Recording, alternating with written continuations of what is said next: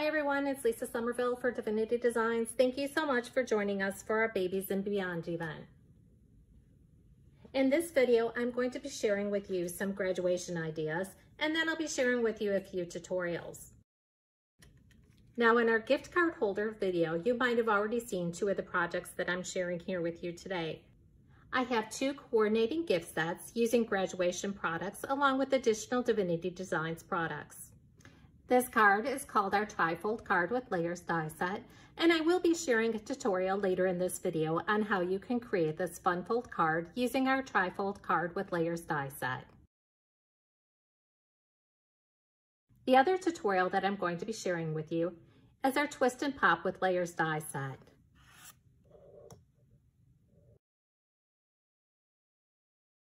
The Twist and Pop die set does require the use of an A2 card base. You can see when you open the twist and pop, the fun mechanism in the inside opens up. Again, I'll be sharing a tutorial later in this video. Now, if you've seen our gift card video, you've probably already seen the products that I've used on these two projects. But if not, I'm going to go over them again with you. Here we have the gift card holder. This is a two-piece die set. It contains the base and also the decorative panel. I've also used the circles and pierced circles die set along with the Bitty Blossoms die set.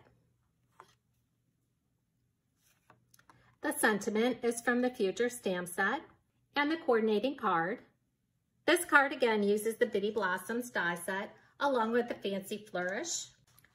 The Sentiment Strips 2 die set, the square card base with layer die set, flourished background die that can be found in the July 2021 Blessings Box subscription kit, double pierced squares, the grad die set, and Dream Big stamp set.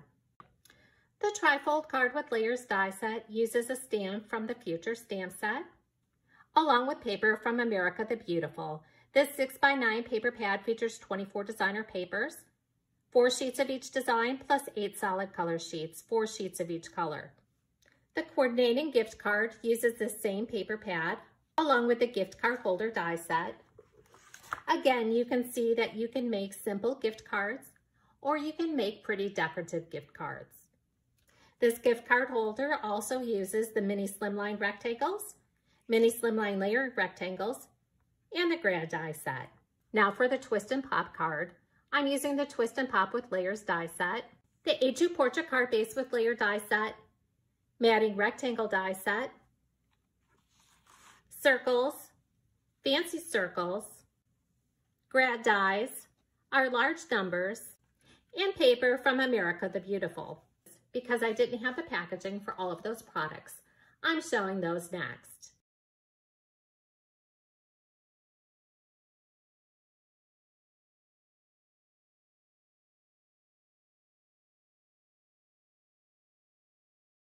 I also have the following graduation card where I let the landscape paper pad be the focal point of my card.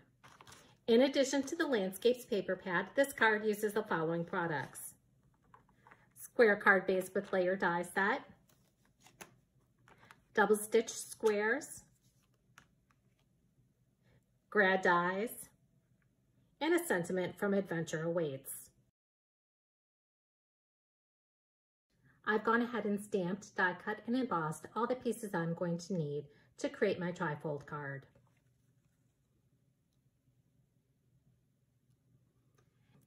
This is just one of the many folded card dies that Divinity Designs carries.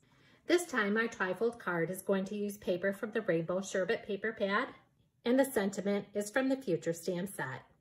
The card base was die cut from white cardstock, and all the layer panels were die cut and embossed from the Rainbow Sherbet paper pad. The sentiment from the Future stamp set was stamped in black ink on white cardstock, then die cut and embossed using the circle dies. You're going to want to use adhesive and adhere all those layers to the card base. Now when adding the die cut and embossed layering panels, be sure to center them in the areas they go on the card base. And then you're going to want to fold that card base on the score line. Folding directions can also be found on the packaging. The first fold is mountain. The inside fold is valley. The two end folds are mountain. On the smaller center, we have mountain, then valley, and valley on the end. Again, you can see that first fold is valley, valley, then we have mountain, mountain, valley, and valley. And how cute would the trifold card with layers die set be using the elephant from our Bundle of Joy stamp set? For more inspiration using the trifold card with layers die set, be sure to visit the product page on our website. This next tutorial features our Twist and Pop with layers die set. When using the Twist and Pop with layers die set, you're also going to need an A2 base card. The Twist and Pop with layer die set consists of the Twist and Pop mechanism. You have your cardstock accordion panel and the layer panels. Be sure to die cut and emboss the layering panels and the twist and pop mechanism following the directions for your die cutting machine. On this card, the verse comes from the Future stamp set. On the card that I'm going to be creating in this tutorial, I'm going to use one of the sentiments from Dream Big. The additional products are the Flower Favorites Slimline Paper Pad Collection, the A2 Portrait Card Base with Layer Die Set, matting rectangles, long and lean numbers, scallop circles, and circles die sets. I've gone ahead and die cut and embossed all the pieces that I'm going to need to create my card. Again, your twist and pop card is going to start out with the A2 portrait card base. I'm also using the layering die from this set and the matting rectangle, as I want to add a pop of color between the layered panel and the cardstock base. You can go ahead and adhere those panels together. From white cardstock, I have my accordion panel, the twist and pop mechanism, the long and lean numbers, and my stamped die cut and embossed circle panel. The circle scallop was die cut and embossed from cardstock, and the layer panels for the accordion were die cut and embossed using the Floral Favorites paper pad collection. Adhere the stamped embossed sentiment panel to the embossed scalloped circle and then adhere that to the base card. You can then add the die cut and embossed layering panels to the accordion panel and embellish. On my panels on this card, I use the long and lean numbers. On this first card, I used our large numbers die set. Again, when using our dies, you're going to want to die cut and emboss following the directions for your die cutting machine. Embossing the dies will bring out the detail of the dies. On the large numbers on this card, I left the die cut and embossed panel within the die and then used our blending brushes and ink to apply ink over the die. You can then see by using the blending brushes and the ink the stenciled area of the die cut. You can do that with any of our dies that have embossed areas. If adding stenciling to your die cuts, be sure to clean the dies before storing them for your next use. Before we move on, I'm going to fold the accordion panel on the score lines. Use a bone folder for a nice crisp score. The first fold is a valley fold, then mountain fold, and a valley fold. So we have valley, mountain, valley. I'm going to go ahead and set that panel aside and work with the twist and pop mechanism.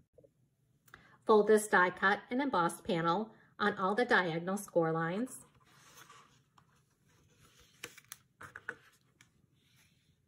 Again, use a bone folder for a nice crisp score.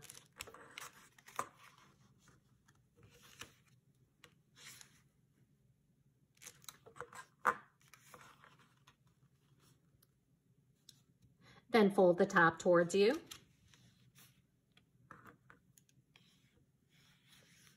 And again, use a bone folder. Then we're going to push down on the center triangles. Again, use a bone folder for a nice crisp score. After scoring and folding the twist and pop mechanism, you're going to add score tape to the two triangle sides. Now we're going to bring in the card base. You're going to make a dot in the center of your card on the score line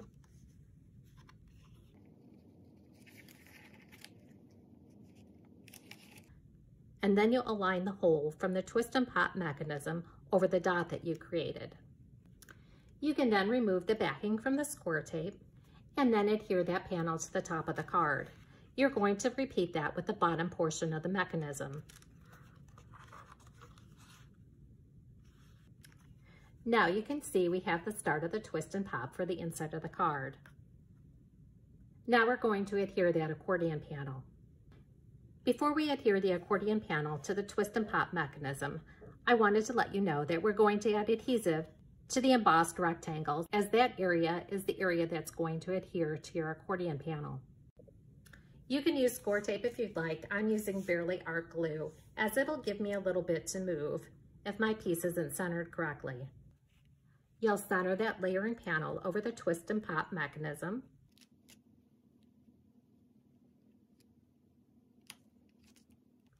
And then adhere to the left side. You can then flip over the right flap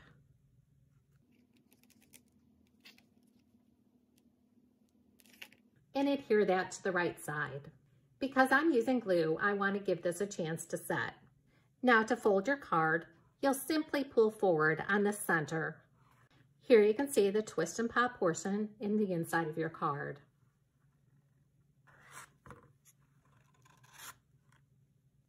Now let's take a closer look at those projects that I created. Another gift card set. Another trifold with layers card. A square graduation card.